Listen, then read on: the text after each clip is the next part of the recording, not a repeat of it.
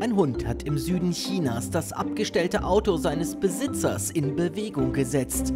Der kleine Corgi sprang auf den Fahrersitz und schubste dabei den Gang raus. Weil die Handbremse nicht angezogen war, rollte der Wagen auf einer belebten Straße los. Ein Passant schaltete jedoch blitzschnell und stoppte das Auto nach wenigen Metern.